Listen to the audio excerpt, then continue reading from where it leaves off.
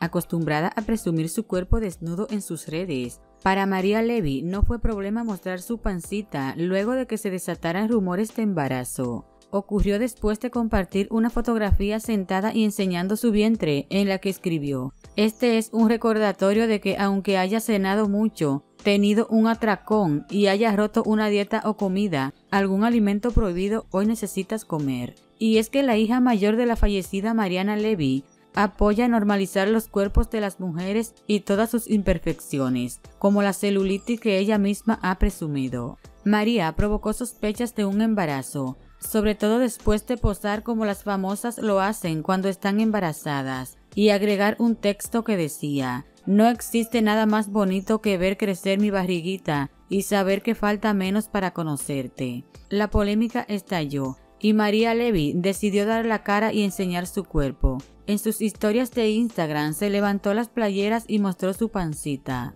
Con un tono sarcástico dijo, para todo lo que han estado preguntando si estoy embarazada, la respuesta es no, es panza normal. Comí mucho y está inflamada, ¿ok? Muchos consideraban que está jugando con el tema y que sí está embarazada, pero María ya había respondido a alguien que la cuestionó, no, pues no sabía. En caso de ser cierto, solo el tiempo lo confirmará. De lo contrario, María Levy logró su cometido de llamar la atención para difundir su mensaje a las mujeres sobre amar su cuerpo tal y como es.